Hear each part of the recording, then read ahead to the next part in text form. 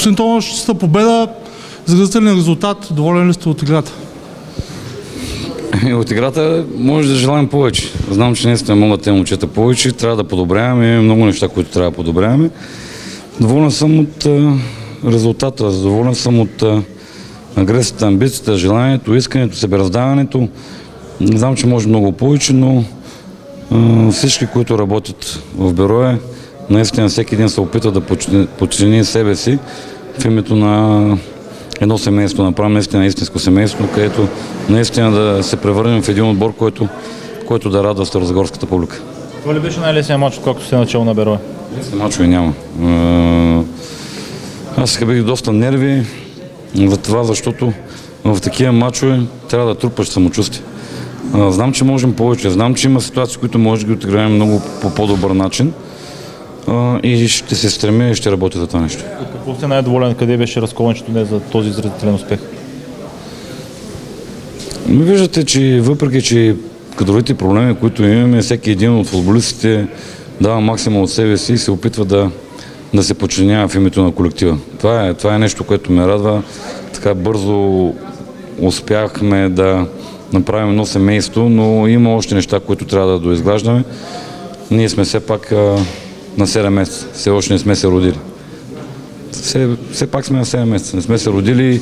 Има си неща, които и да искам да ги изпреварим, не мога да ги изпреварим. Така че за един отбор на 7 месеца, да, искаме повече, ще работим повече, ще даваме повече, но радвам се, радвам се за публиката, за собствениците, за това се радвам.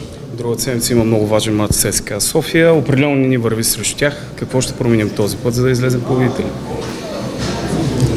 Във всеки един матч Бероя се опитва да играе футбол, по който, откакто аз с екипа дойдохме, се стремим да, да тренираме. Виждам как тренират момчета, виждам как се получава. Просто това, което се получава на тренировъчното игрище, трябва да го пренесем на футболния терен. Ще искаме да се сверим часовниците. Все пак ЦСКА е в този състав, мисля, че вече две години. Претендент за титлата. Да видим наистина за 7 месеца до къде сме стигнали. Как ще коментирате казуса с Като през седмицата и наложената му санкция от Българския футболен съюз?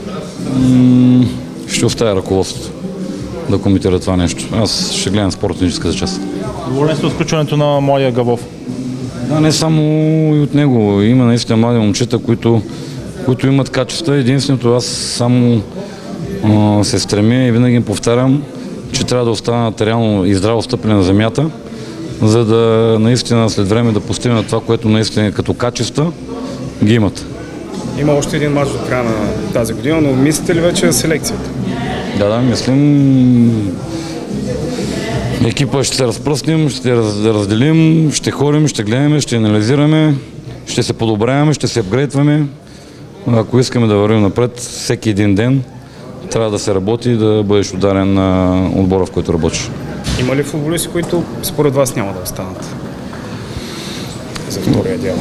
Преди колко седмици така не изказах публично нещо, което исках да, да, да стресна някой от футболистите. Мисля, че се получи от психологическа гледна точка, затова винаги казвам, а и вие като журналисти някой път така се обръщате към мен, пак ли е ментално, пак ли е психологически. Да, психологически. Вижда се, че наистина психологически е проблем, особено в България.